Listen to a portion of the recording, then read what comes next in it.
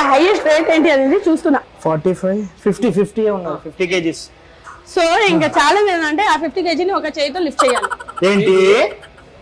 ఏం లేదు ఎంత రియాక్ట్ అవుతున్నారంటే సింపుల్గా ఫిఫ్టీ కేజీని ఒక చేతిలో లిఫ్ట్ చేయాలి అంతే.